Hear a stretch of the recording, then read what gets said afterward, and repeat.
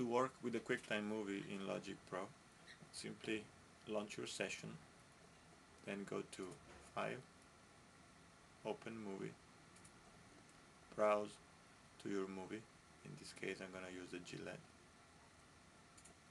and click Open. Your movie is imported. The next step is to choose the right frame rate. Right click on the movie window or control click choose video project settings go to synchronization and select the right frame rate. In this case 30 frames per second.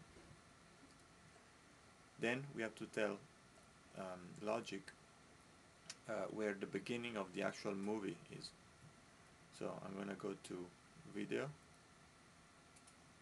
and I'm gonna punch in in the movie start time the exact beginning of the SMPTE code on the movie.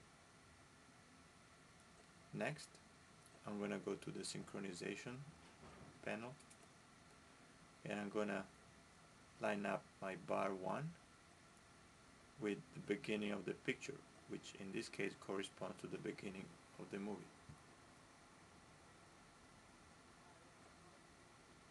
Close the project settings window and at this point you are ready to insert two bars before bar 1 for uh, count off and uh, 2 beep.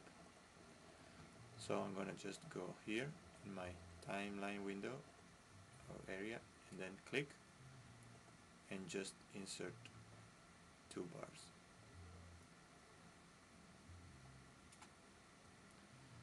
Once you do that, you are all set to have your movie um, ready to be scored. I press play, I will have two bars and then the movie will start.